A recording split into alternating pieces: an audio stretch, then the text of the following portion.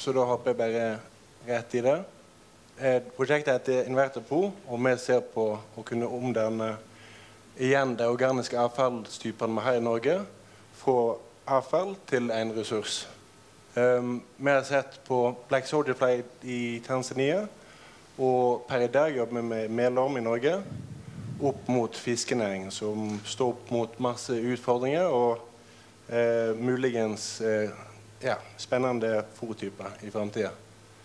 Um, så konseptet er rett og slett å selge insektmel uh, opp til en kunde, oppdrettsnæringen, Um, da fòrprodusenter. Prosessen vår gir oss uh, et biprodukt som heter naturlig gjødsel, og potensielt uh, bio, biogass, som da kan òg hjelpe mot mer bærekraftige produksjonsmetode. Kort fortalt, Da begynte vi med egg, som vi hiver opp i et substrat. Eh, organisk substrat. Det kan være bryggeriavfall eller hvete, brød.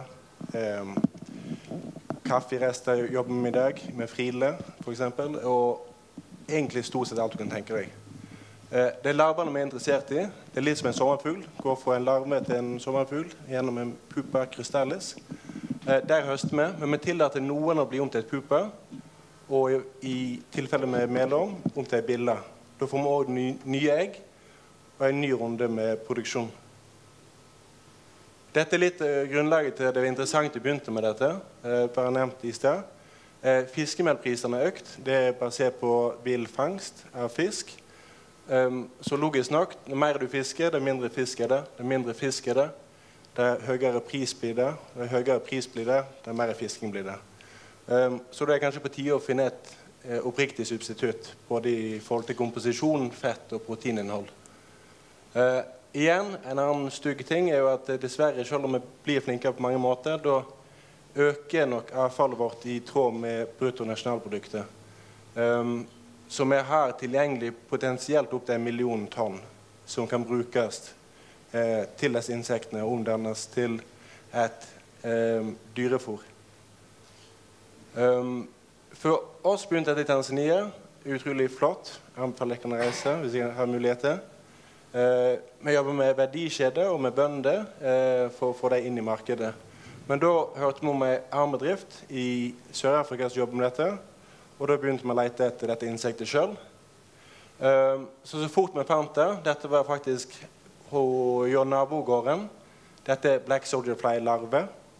Da begynte man å bygge en liten fasilitet som rommet 3,5 tonn med organisk produkt, eh, organisk avfall som kan omdannes til eh, larver og da insektmel. Um, så dermed drifta jeg i to år.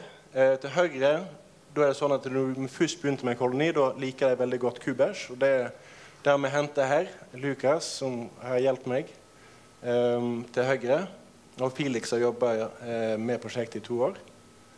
Um, med tanke på hvordan den prosessen er, da er det det sirkulære som er interessant for meg. Det er min bakgrunn, og derfor jeg eh, har veldig lyst til at dette skal kunne gå i Norge òg. Så det å se på avfall eh, som en ressurs, eh, oppsirkulere noe som før har blitt deponert eller forbrent eller brukt til biogass, og bruke det, eller bruke det på en mer effektiv måte. Um, og da er det viktig å ha det er en bærekraftelement i alle ledd. Så da, med tanke på Norge, det er eh, reduksjon av forbruk av strøm. Eh, eventuelt hvis vi kan bruke for, produsere så mye av den strømmen sjøl fra egne prosesser. Da er det helt topp. Eh, I Tanzania er jo det absolutt tilfellet. Da er det veldig lavteknologisk. I Norge blir det nok mer automatisering. Um, da får jeg et produkt. Insektmel, insektolje, som nevnt. Eh, gjødsel. Men det er dette som er to hovedprodukt. Eh, det er til fiskefôr, men kan også være til kylling, menneske eller hva som helst. Fisk er jo veldig relevant i Norge. Um, og så til slutt i vår sirkel da er det å håndtere avfallet av vår produksjonssyklus. Og da får vi da dette naturlige gjødselet, som er høy i eh,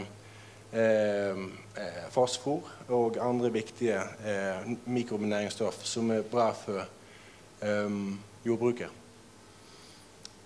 Som jeg treffer heldig nok en god del av disse klimamålene som vi har sett oss opp til vi skal komme i boks med eh, på et eller annet tidspunkt. Så det er bærekraftig industrialisering, bærekraftige forbruks- og produksjonsmønstre, eh, bekjempe klimaendringer og fremme bærekraftig bruk av mari marine ressurser. Nå tar vi jo da rett og slett ikke bruke marine ressurser, så bruker vi heller noe annet som kanskje eh, ja, er bærekraftig på en mer oppriktig måte.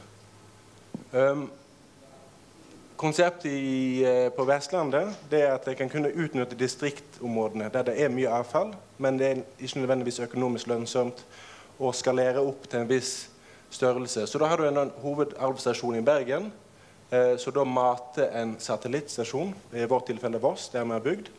Eh, da får du organisk avfall inn på Voss, vokser fram larver, eh, og sender da larvene tilbake til prosessering. Eh, det er der som er høye investeringskostnader. Eh, da kan du legge til flere anlegg, avhengig av hvor du finner eh, tilstrekkelig eh, organisk materie.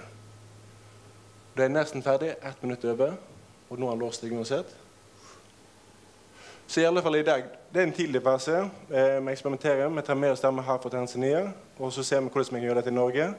Eh, det finnes andre aktører i verden som produserer i dag på 250 tonn, eller kapasitet på 250 tonn, med en reell eh, produksjon på 25 tonn om dagen. Og da kan du begynne å kutte inn en god del i eh, ubærekraftig substitutt, eh, alternativ. Så dette er vår visjon, som er under utarbeiding. Fullt eh, arbeid nå framover. og vi er glad for den erfaringen som vi har tatt med oss, um, og hjelpen vi har fått gjennom forskjellige institusjoner, organisasjoner og bedrifter. Og der vi skal begynne med nå i år. Så vi der prøver å finne ut hvordan skalerer vi dette. Hva er faktisk grunnlaget? Kartlegge hvor mye organiske ressurser har vi. Og da, eh, hva type skalering blir det da på fabrikken?